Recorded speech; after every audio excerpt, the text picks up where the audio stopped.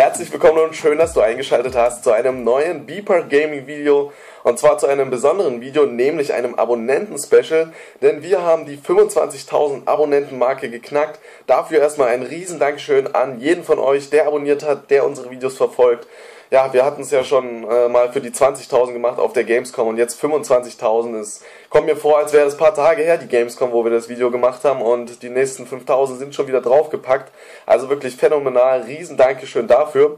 Und wir haben uns jetzt überlegt, dass wir eine Roomtour machen. Ähm, das bedeutet, dass wir euch einfach mal zeigen wollen, wo wir so zocken, wie das Ganze bei uns aussieht ähm, und wo wir dann die Videos auch kommentieren, wo unser Rechner steht, keine Ahnung, das ganze Zeug auf jeden Fall mal. Und zwar von jedem von uns, von Till, von Joshua, von Benny, von Malte und von mir. Und es wird einfach nacheinander stattfinden. Ähm, ich werde jetzt mal anfangen einfach und will gar nicht auch weiter um den heißen Brei herumreden, denn meine Matte sieht relativ schrecklich aus, weil ich äh, seit Ewigkeit nicht beim Friseur war. Wird auf jeden Fall demnächst mal wieder nötig sein. Und deswegen habe ich jetzt schon mal hier rüber geschwenkt. Da sieht man so ein bisschen meine Zock-Location. Ähm, ich zeige euch das Ganze mal hier ein bisschen. Ich muss mich für die Quali ein wenig entschuldigen, weil ich nur mit meinem Handy aufnehmen kann. Aber hier sieht man auf jeden Fall meine Couch, auf der ich dann immer sitze, ähm, wenn ich zocke. Und da drüben dann stehen meine beiden Konsolen. Hier sieht man so im Doppelpack sozusagen, die meisten von euch wissen wahrscheinlich, dass ich auf der PS3 und der Xbox spiele. Und die habe ich hier einfach so übereinander angeordnet. Ist eigentlich ein ganz cooler Tisch dafür.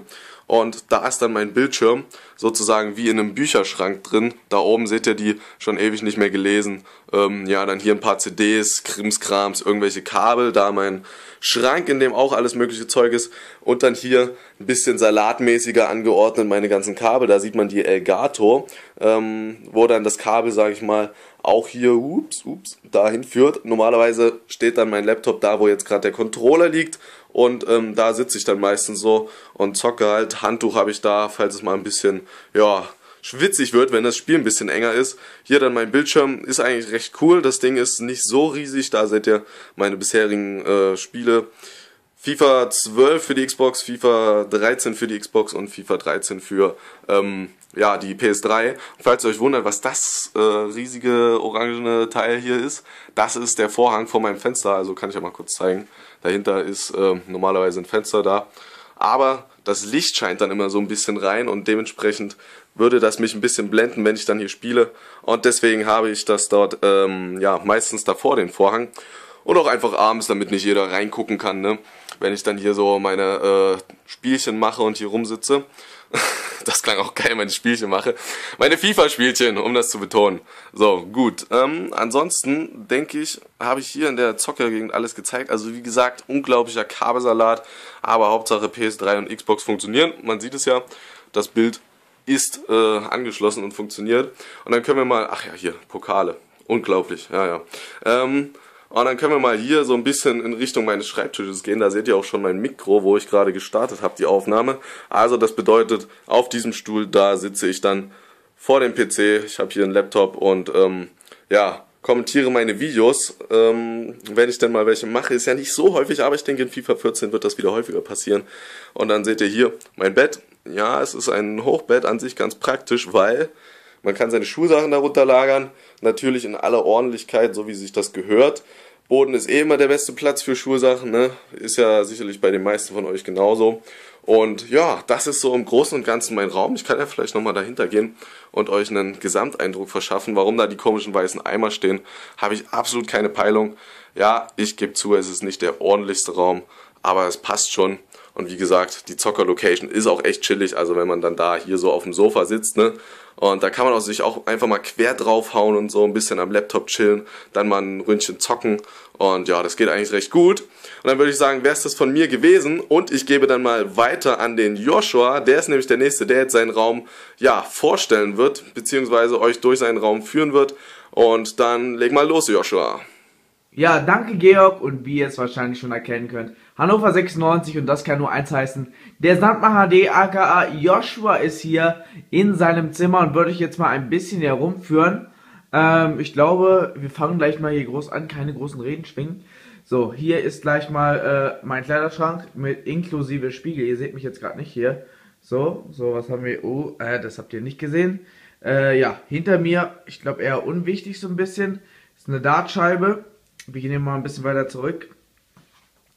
Hier ist dann so mein Krimskram-Schrank. Da oben äh, liegt noch mein äh, Fahrradhelm, sag ich mal. Äh, gehen wir hier mal ein bisschen runter. Ein bisschen Sportsachen liegen hier rum, Schuhe-Sachen und sowas alles. Da unten liegt noch meine Kamera.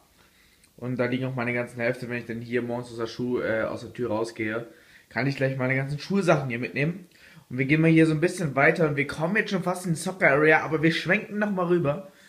Denn dazu kommen wir natürlich zum Schluss, denn das ist natürlich das Wichtigste. Hier habe ich dann so, seht ihr schon so eine kleine Sitzecke, hier habe ich eine Couch, einen Sessel und daneben gleich mein Bett.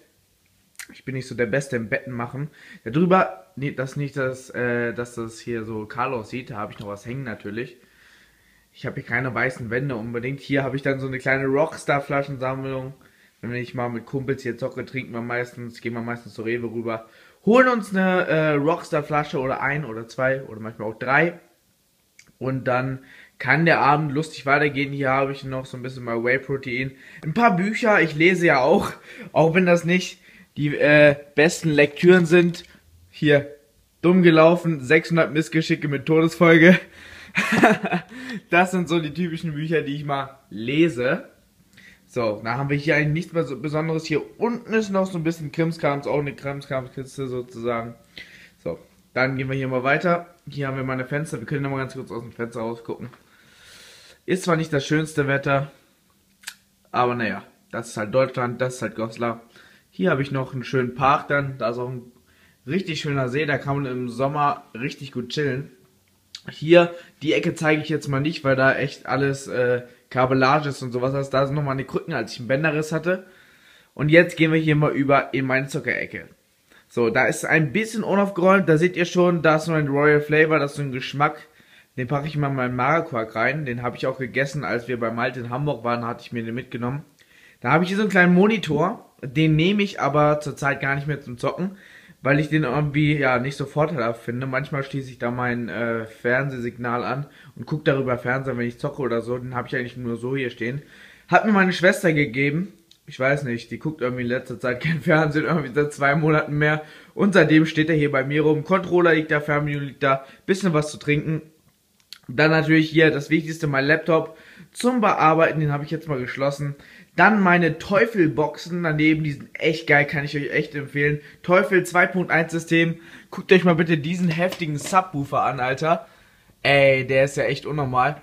Aber der haut auch gute Bässe auf jeden Fall raus. So, das war's hiervon eigentlich. Hier habe ich dann meinen schönen Computerstuhl. Dann habe ich noch meine, äh, hier sieht man es auch, Hannover 96 Jacke, die habe ich mir mal so gekauft. Die ist übelst chillig, wenn es mal kalt hier im Zimmer ist, ziehe ich die einfach drüber. Und darüber hängt ein Handtuch. Das hat einfach folgenden Grund. Ich glaube, ihr kennt das alle. Wenn ihr zockt, irgendwann, wenn ihr in so eine Situation kommt, 90. Minute, ihr für 2-1 müsst den Ball rausschlagen, dann schwitzen eure Hände. Und irgendwann müsstet ihr euch dann auch mal die Hände ein bisschen trocken waschen. Und ja, deswegen ist das eigentlich sehr hilfreich, dass ich hier dann ein Handtuch hängen habe gleich darüber. So, hier ist dann mein Fernseher.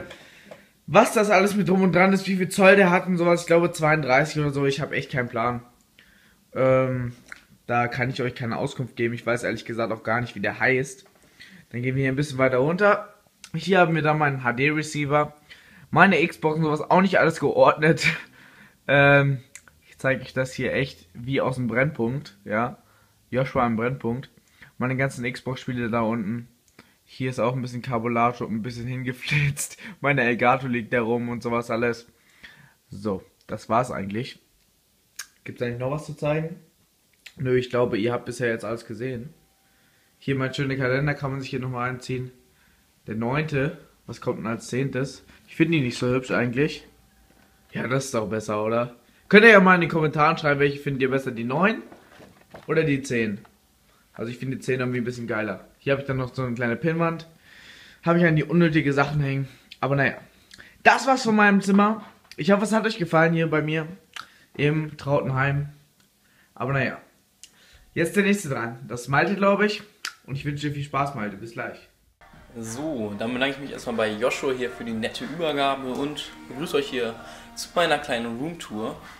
Hier unten könnt ihr erstmal sehen, wie die Treppe runtergeht zum Zimmer von meinem Bruder. Das hat man auch mal kurz gesehen. Und vielleicht hört man auch gerade, dass er Musik hört. Aber will ich ihn mal nicht stören. Das hier ist ein Bild von meiner Oma. Also das ist praktisch hier so das Treppenhaus, wenn man in mein Zimmer kommt. Ich wohne ganz oben. Hier seht ihr einmal nochmal einen Spiegel. So, und dann geht es auch schon rein in die gute Stube. So. Als erstes, wenn man reinkommt, sieht man hier erstmal meine kleine Sofa-Chill-Ecke. Das Sofa habe ich mir jetzt letztes Jahr zu Weihnachten gewünscht und ja, finde ich eigentlich nach wie vor sehr, sehr geil, ziemlich chillig, kann man ausziehen. Und ähm, der ein oder andere kennt es vielleicht von euch sogar schon aus ein, zwei Videos. Unsere Handicap-Challenges haben wir hier aufgenommen, zum Beispiel, wo wir FIFA blind gespielt haben oder solche Scherze. Und dann kann ich hier mal ein bisschen weiter durchgehen. So, hier seht ihr meine Konsolenecke sozusagen. Ich denke mal, das ist hier auch der wichtigste Platz des Zimmers sozusagen. Hier steht mein Fernseher und meine beiden Konsolen. Und hier könnt ihr noch was sehen, was eigentlich auch ganz geil ist. Ich bin ja jetzt im August 18 geworden und haben mein Onkel und meine Tante mir ja so meine Buchstaben, meine Namensbuchstaben geschenkt und ein bisschen Geld dran. Fand ich ziemlich, ziemlich nice. Schachbrett, kann ich mal schöne Grüße an Joshua nochmal bestellen. Als wir letztes Mal gemeinsam hier waren, haben wir ein, zwei Partien Schach gespielt. War eigentlich ganz geil. Hier nochmal ein Bild von meiner Oma. Die ist leider letztes Jahr gestorben und deswegen habe ich ein, zwei Bilder geerbt, die ich eigentlich ja, ziemlich cool finde und die deswegen für mich auch eine höhere Aussagekraft haben. Und da überlege ich jetzt zurzeit, dann schwenke ich nochmal ganz kurz hier in die Ecke rüber, das hier an die Wand zu hängen. Ich denke, das wird ganz gut passen. Genauso wie die Lampe, die ich jetzt neu habe. Da bin ich noch am überlegen, ob ich die hier in die Ecke stelle, wo die steht.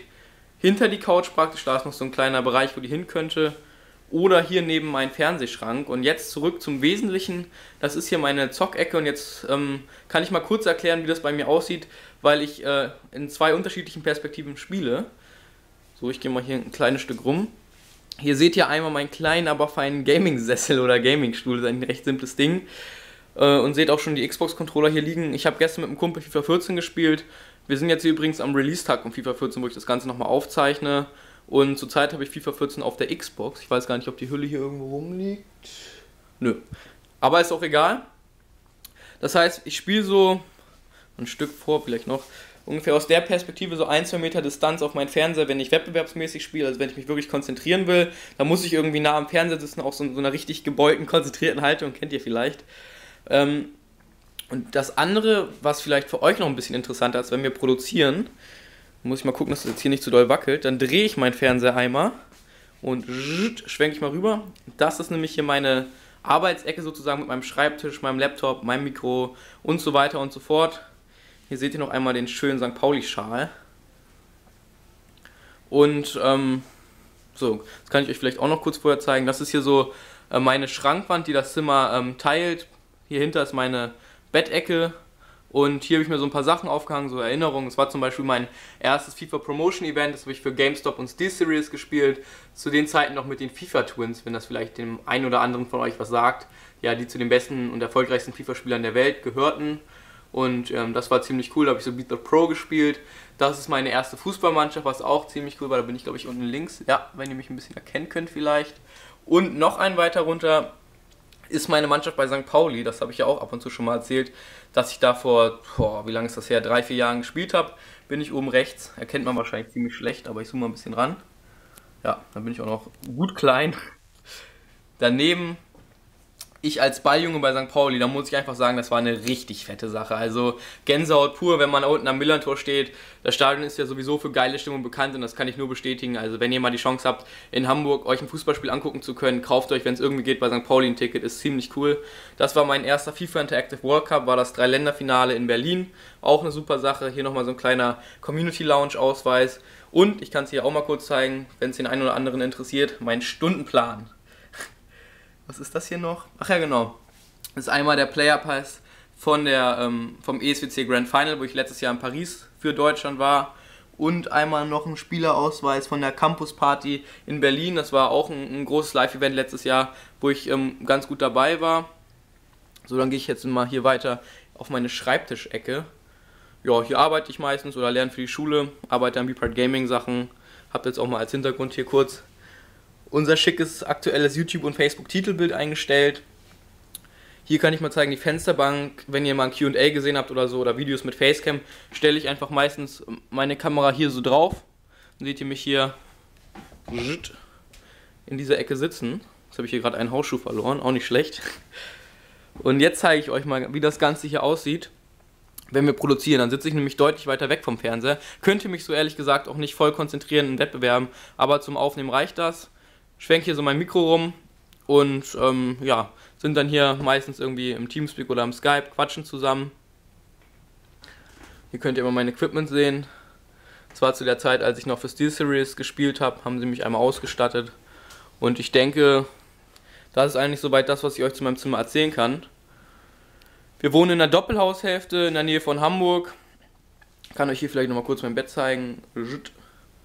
Und ja, ich bin eigentlich mit meinem Zimmer ziemlich, ziemlich zufrieden. Habe früher einen Stockwerk tiefer gewohnt und irgendwann ähm, wurde das Zimmer hier oben frei und dann habe ich mir das nach und nach eingerichtet. Und ja, wenn wir in Hamburg mal am Start sind, dann pennen wir auch das eine oder andere Mal hier zusammen. Also Georg war jetzt ab und zu schon mal hier, Benny und ja, Joshua ja auch einmal.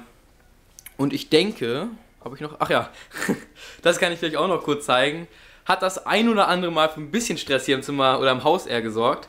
Nämlich ein kleiner Basketballkorb und wenn ich dann hier mit Kumpels wild Basketball gespielt habe, ich habe hier nur Estrichplatten in meinem Laminat, hört man also schön durchs ganze Haus. Da gab es dann doch das ein oder andere Mal schon ein bisschen Ärger, aber was macht man nicht alles, wenn man ein bisschen Spaß haben will. Und ich würde sagen, dann sollte es das soweit von mir gewesen sein. Ich hoffe, ihr konntet euch einen kleinen Eindruck von meinem Zimmer verschaffen. Ich schwenke hier einfach noch einmal kurz rum. Und euch hat das Ganze gefallen. Und dann würde ich jetzt einfach sagen, Till, dann bist du dran. Bis dann. Ja, moin und äh, danke für die coole Überleitung, Malte. Ähm, ich bedanke mich zunächst natürlich auch erstmal für die 25.000 Abonnenten. Ich denke mal, dafür machen wir ja das Video so ein bisschen, um euch einen kleinen Einblick bei uns zu geben. Und ja, von daher erstmal schönes Dankeschön, aber ich glaube, so eine Bedankung bringt euch nicht besonders viel, sondern ihr wollt hier mehr sehen, was hier los ist. Also man sieht eigentlich, mein Zimmer hier besteht einfach nur aus einem riesengroßen Schreibtisch. Da unten noch so ein schöner Müllsack. ähm, das liegt äh, daran, das ist ja eigentlich gar nicht mein richtiges Zimmer, sondern das ist das alte Büro von meinem Vater. Und äh, das benutze ich eigentlich einfach nur als Arbeitsplatz. Man sieht schon hier links sind so die ganzen Schulsachen. Sieht man zum Beispiel schon Englisch, Mathe, Erdkunde und so ein Kram.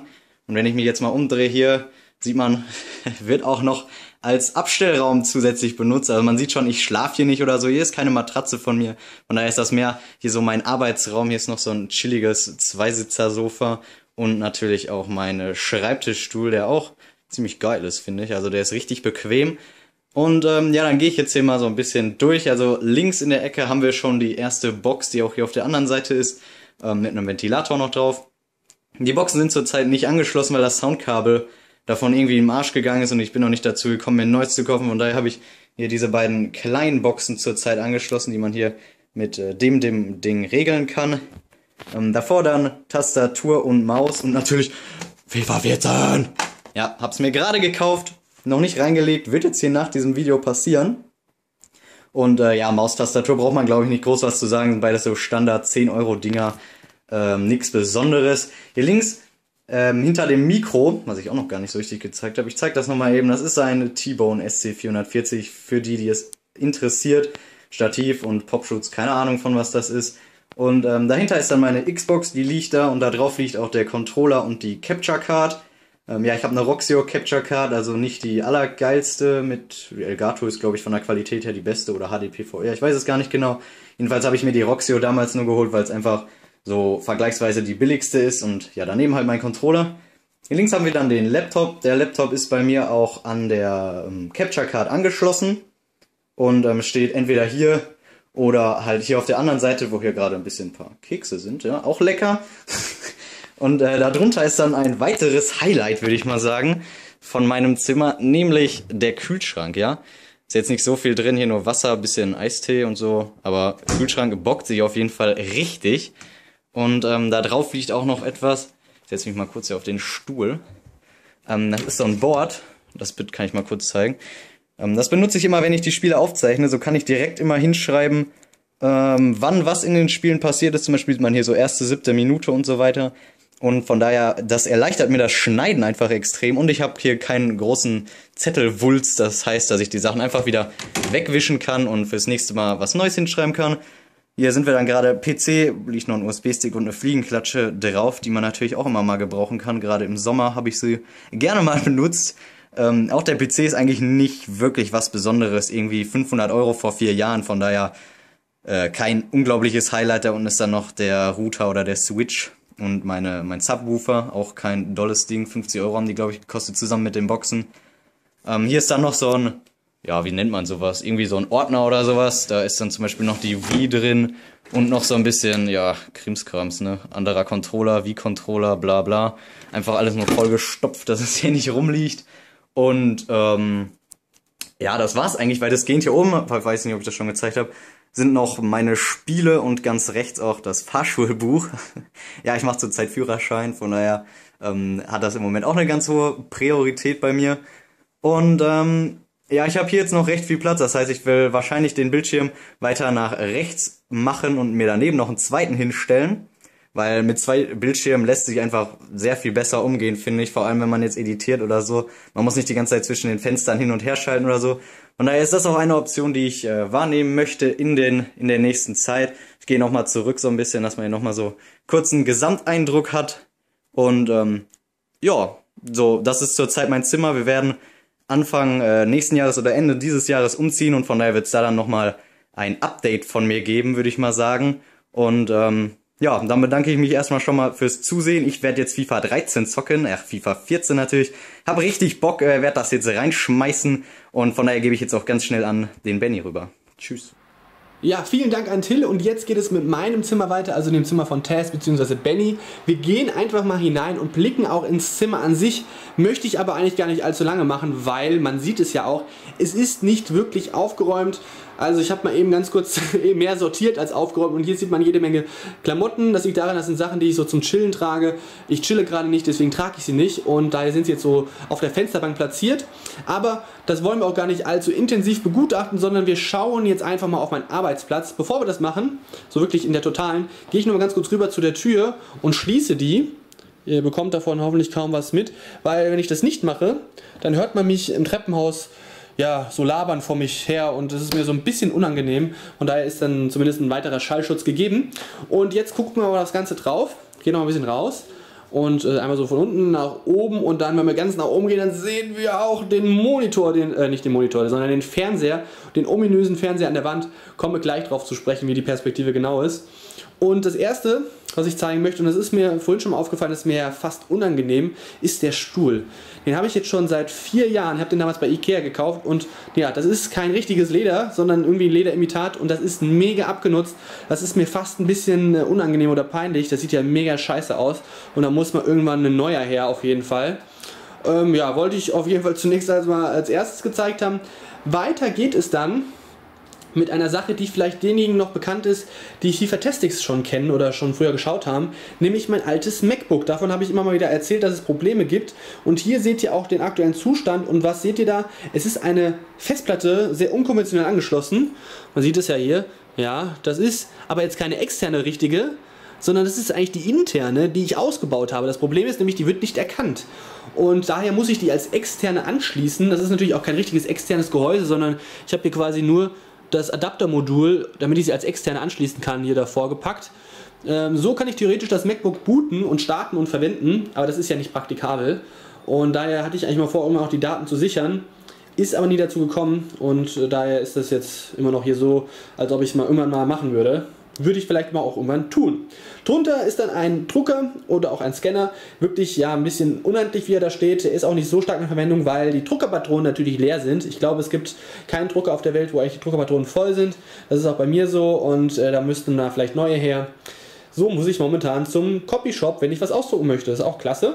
Drunter der Subwoofer von Teufel. Also ich habe ein Teufel 5.1 System, das nur so am Rande als Soundsystem. Und dann können wir mal hier so weiterschauen. Da sieht man jetzt zum einen ja das Mikrofon von dem von der Cam, die ich jetzt hier gerade halte. Das kann man quasi anschließen. Hier ist irgendwo ein Kabel, das kann ich dann einstecken. Dann habe ich dann das Mikrofon als ähm, Aufnahmegerät für den Ton.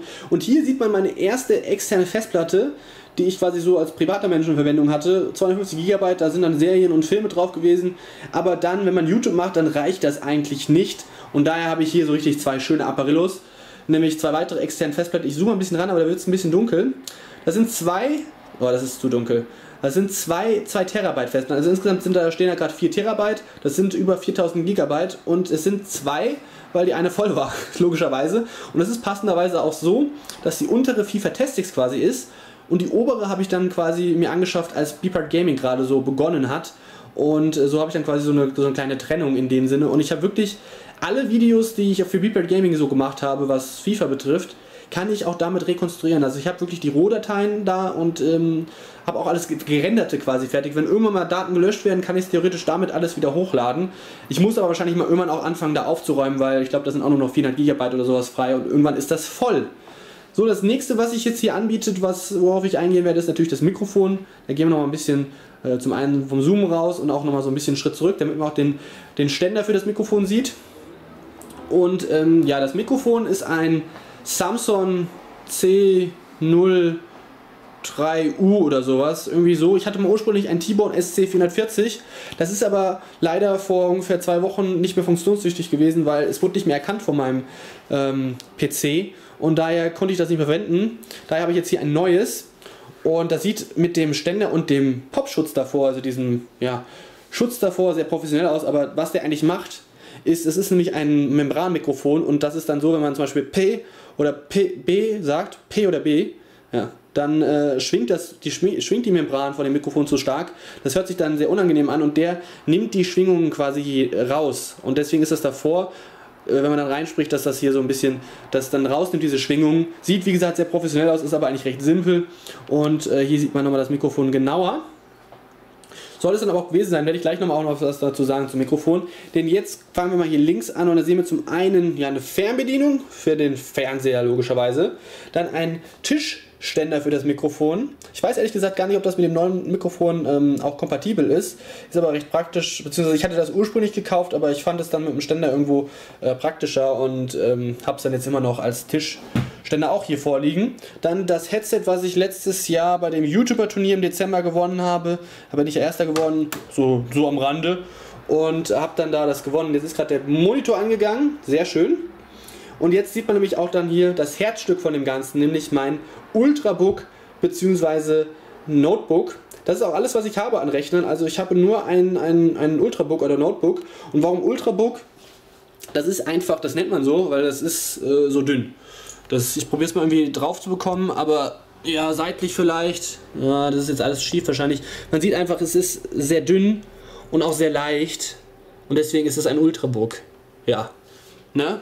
So nennt man das heutzutage. Und oben drüber sieht man dann auch noch die Webcam, mit der ich aufzeichne. Die habe ich entweder hier drauf bei Squad Buildings. Hat man quasi so eine leichte seitliche Perspektive zu mir.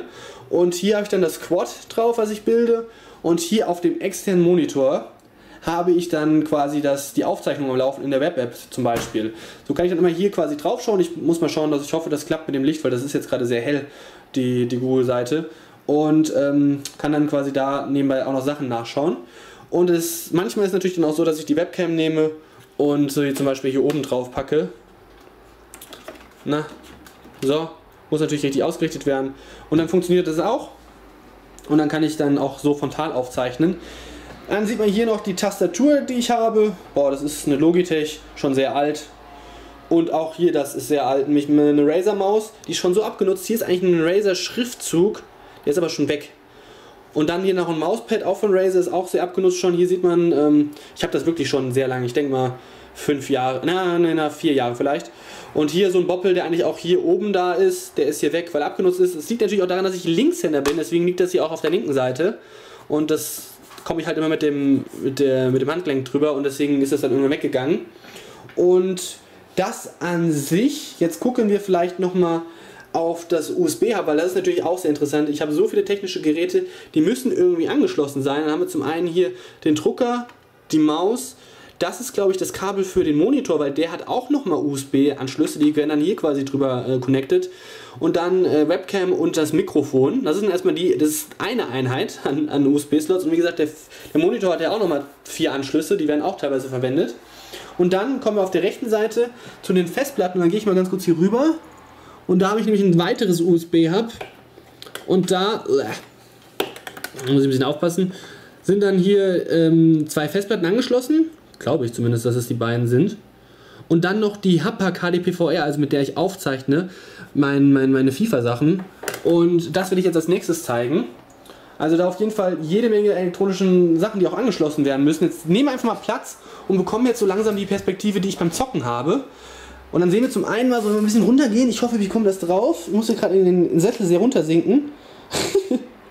und da sehen wir da meinen mein, mein Sound Receiver. Also bei denen kommt der, äh, kommt, die, kommt der Ton an und wird dann weitergeleitet. Theoretisch dann gegebenenfalls auf mein äh, Boxensystem oder auf den Fernseher oder wie auch immer, wie ich es gerne haben möchte. Wenn ich zocke, muss es jetzt leider mit dem Setting nur beim Fernseher sein, damit der Ton auch bei euch ankommt, wenn dann Videos kommen. Und dann sieht man jetzt hier die, upsala, die HDPVR und auch die zwei Controller von mir. Und mit der HDPVR zeichne ich wie gesagt auf. Die bekommt das Signal von unten von der Playstation, die ist auch gerade an, warum auch immer. Die bekommt das Signal an die HDPVR und die gibt es weiter an den Fernseher über das Kabel, das kann ich kurz zeigen, das ist ein Komponentenkabel, das äh, fünfsträngige hier und auch an den ähm, an das Notebook über das USB ja, über das, das USB-Kabel, richtig. Und das habt ihr vorhin gesehen, da, das war das rechte USB-Hub. Und so funktioniert das dann mit der Aufnahme. Und jetzt bekommen wir auch mal so ein bisschen die Perspektive, wie ich zocke, weil ich sitze jetzt hier genau so und dann geht der Kopf hoch, hoch und höher und langsam aber sicher, ich hoffe, man sieht es vom Licht her, ah, da wird es auch langsam heller und dann sieht man auch den Fernseher und das ist quasi meine Perspektive auf den Fernseher. Und jetzt ist es dann auch so, dass ich quasi ja, ähm, hier in dem Sessel oder in dem Stuhl so ein bisschen nach hinten kippeln kann, von daher geht das aber auch in meinem Nacken in Ordnung. Aber man sieht natürlich, der ist schon etwas höher angebracht. Und äh, ja, das ist dann halt auch so meine Perspektive. Das ist jetzt wirklich so, wie ich zocke. Ich kann theoretisch vielleicht auch den Fernseher anmachen und dann würdet ihr sehen, wie es ist, aber ihr könnt euch auch dazu denken. Was man auch noch vielleicht sehen kann, äh, wenn wir mal aufstehen, hier ist so ein Strich. Das sind Bleistiftstriche. Und ursprünglich hatte ich mal drüber nachgedacht, dass ich den Fernseher auf diese Höhe hänge, also vielleicht so äh, 5 bis 10 cm tiefer. Es hätte jetzt nicht so viel Unterschied gemacht, aber damals, als wir den angebracht haben, habe ich gedacht, ja komm, da geht noch ein bisschen höher. Das ist dabei rausgekommen und dieser Zwischenfreiraum ist quasi der Grund, warum der so hoch hängt. Ja, man könnte ihn ein bisschen tiefer hängen, aber das ist halt auch mal ein bisschen Aufwand, deswegen hängt er halt so hoch. Und was ich jetzt noch machen kann, ist quasi, ich kann nämlich jetzt hier das Mikrofon einmal so rüber drehen und jetzt bekommt ihr quasi wirklich die Perspektive, wie es dann auch beim Aufzeichnen ist. Ich sitze dann hier so und gucke nach oben. Tada, ist nicht in meinem Sichtfeld. Und so kann ich dann quasi aufzeichnen und spreche dann hier in das Mikrofon vor mir rein. Drehe ich dann so rüber, das ist sehr praktisch. Und dann hat das dann auch optimale Aufnahmequalität. Und wenn ich dann irgendwas am Rechner machen muss, dann muss ich hier so rübergreifen, muss aufpassen, dass ich meinen Kopf nicht am Mikrofon stoße. Ich habe wirklich jetzt gerade ak wirklich akkurat meine Perspektive vom Aufzeichnen, Ego-Perspektive. Und was ich dann auch noch machen kann, ist, wenn ich dann so am Zocken bin, dann muss ich ein bisschen näher ranrücken, dann kann ich hier so ganz bequem meine Füße hochlegen. Ja, ist das was? Und dann kriege ich damit auch leichter so eine leichte Schräge rein, um den Kopf nach oben zu bekommen, damit ich auch was vom Monitor oder vom, vom Fernseher sehe. So ist es bei mir eingerichtet. Und ich würde sagen, ich glaube, jetzt habe ich alles so ein bisschen drauf gehabt. Hm, ja, hier, das habt ihr alles gesehen. Und die Sachen auf dem Schreibtisch, die sonst noch da sind, sind glaube ich nicht so spektakulär. Ein Taschenrechner, ein Kuli, mein Handy, Geldbeutel, der prall gefüllt ist mit Kleingeld.